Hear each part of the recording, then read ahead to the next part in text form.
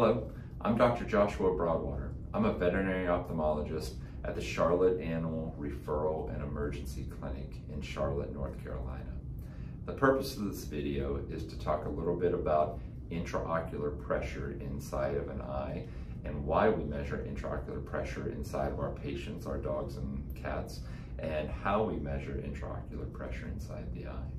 The most important reason that we measure pressure is for a disease called glaucoma, which is a high pressure inside the eye that if left untreated leads to vision loss, blindness, and pain, unfortunately, in our, our patients as well.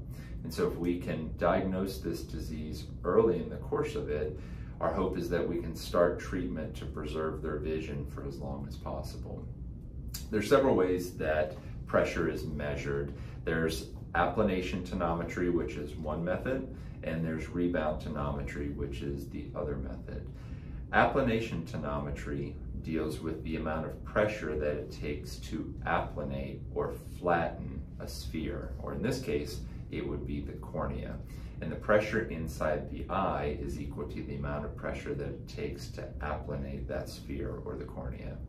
The other route that is used with the rebound tonometer takes an instrument where a little probe from within that instrument jets out and touches the cornea and rebounds off the cornea. And that allows us to get the pressure that's inside the eye based on that rebound effect from the cornea. Um, each method has its um, benefits to use and several ophthalmologists use several different um, uh, methods. Um, in today's video, we're going to talk about rebound tonometry and its importance and the advantages to using that um, instrument, in particular the Tonovet that we'll talk about from Icare. The Tonovet has several different features to it. We'll be able to see that when we turn it on, this is the little probe that jets out and lightly touches the corneal surface to rebound off of the eye to be able to give us the measurement that's inside the eye. Um, a couple advantages that this instrument has is that since this is a gentle probe that lightly touches the surface of the cornea, and just a little demonstration here, you can see the probe that jets out and lightly touches the cornea. And no topical anesthetic such as proparacaine or tetracaine is needed in these cases um, as compared to applanation tonometry where it is necessary in those cases. Topical anesthesia, it can lead to dryness of the cornea. It can affect the corneal health over time. And so if we can avoid using a substance like that, it's ideal. And so with the Tonovet, um, that's something that we can avoid since this is a gentle procedure to the cornea and it causes very little um, sensation or feeling to the cornea that the animals even feel. So it's a, a great method to be able to, to utilize. Um, the way that the um, instrument measures pressure, you can see the little display here. It'll take about six different readings to give us our ultimate reading at the end. Um, if the instrument is located too far from the eye, it'll tell you too far. If it's too close to the cornea, it'll tell you that it's too close. It also depends on a good positioning. So for this instrument to correctly work, we want to make sure that it is in the correct position. If it's tilted down too far, this light will appear red. If it's tilted up too far, this light again will appear red.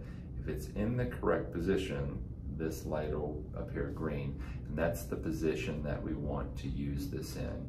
It's ergonomically friendly from the point of view that we're able to use it right next to our patient, right next to their head, and be able to be within about an inch or so of their um, eye to be able to appropriately use this so it bounces off the cornea. And if you're unsure of your positioning, the instrument will let you know if you are again too close or too far. And based on that, you'll be able to hopefully get an accurate pressure.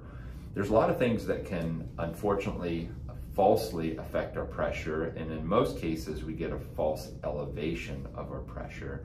So to have a very wiggly um, patient, um, who needs a great deal of restraint to hold them, the more pressure that we put around the neck or around the head can falsely elevate pressures. Same thing as the person who is taking the pressure. If I put too much pressure around the eyelids to hold them open, any extraneous pressure around the eye will lead to a false elevation of pressure inside the eye. And so it's very easy to get a false elevation of pressures and falsely diagnose something like glaucoma.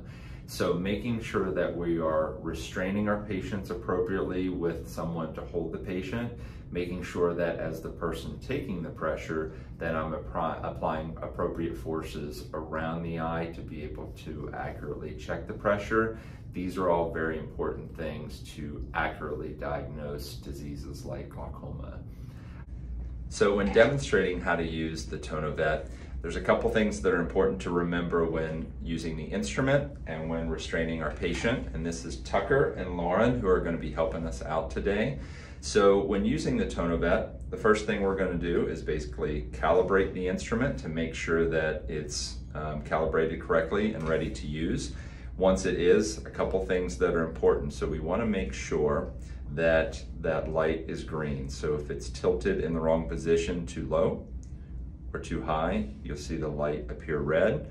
If we're in the correct position, that light should appear green and we should be able to correctly check our pressure. When checking pressure, a couple things that are important. Um, ideally, we have a patient who is not struggling or wiggling a great deal, so we try to um, wait that out, let them get their wiggles out to the point that they're holding still, and we're able to apply minimal restraint because the more external pressure or restraint we apply, um, the higher we may get a, a false reading and a false elevation of pressure as the person checking the pressure, we want to try to put minimal exertion or pressure around the eyelid so again, we don't falsely increase the pressure. So we'll demonstrate how this is used. And again, this little pin is essentially gonna jet out of here and rebound off of the cornea but the animal typically does not feel this or it's something that is um, lightly felt. So no topical anesthetic is needed as it's something that's not painful and not uncomfortable to them. So Lauren, as she's holding here, we're trying not to put any pressure around the neck that can increase the pressure of the eyes. Um, for myself, we'll basically put very light pressure around the eyelids. Not much is needed since they don't feel this on the cornea. And when we check pressure, making sure our light is green, we're gonna go ahead and hit this button about a total of six measurements. If we're too close, the instrument will let us know. For too far, it'll let us know.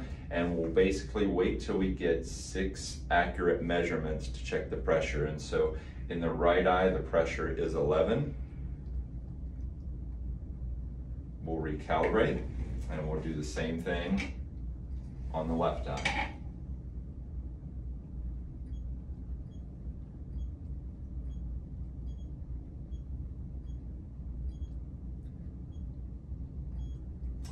Pressure is 10 on the left eye.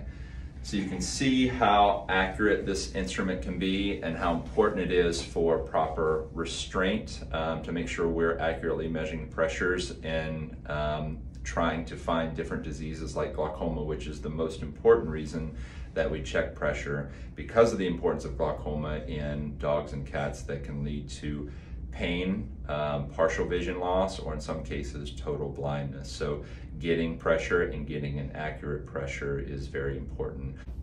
So this is another example on checking intraocular pressure in dogs. This is Zoe. She's gonna also help us out today on getting our pressures checked. Are you ready to get your pressure checked? Okay, let's do it.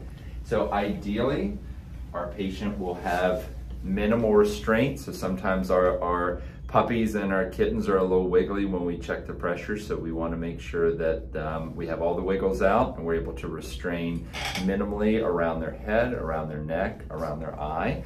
When we do check pressure, we're going to check with the Tonovet. We want to make sure that we have our instrument calibrated, ready to use. We want to make sure that our light is green in the correct position. We're going to start by measuring the pressure in the right eye.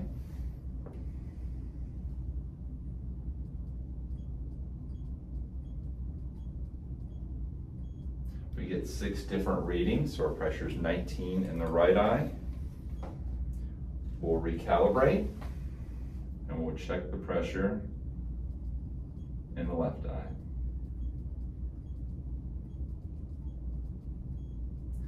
pressure 16 in the left eye. So again, by making sure that we have appropriately restrained the patient, we're not using too much restraint, too much force, and not getting a false increase in pressures, we can make sure that we're um, accurately checking the pressure to be able to diagnose different diseases like um, specifically glaucoma that can cause pain and vision loss. Also helps with uh, diagnosing different diseases like uveitis where, where we can see low pressures and that can aid in the diagnosis of diseases like that. So making sure we appropriately check pressures will help us diagnose um, those diseases that are important in our field of veterinary ophthalmology.